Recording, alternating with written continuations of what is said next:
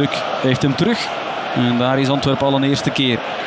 Jansen legt breed en dan het schot eh, en de goal. Oh la la, Richie de Laat.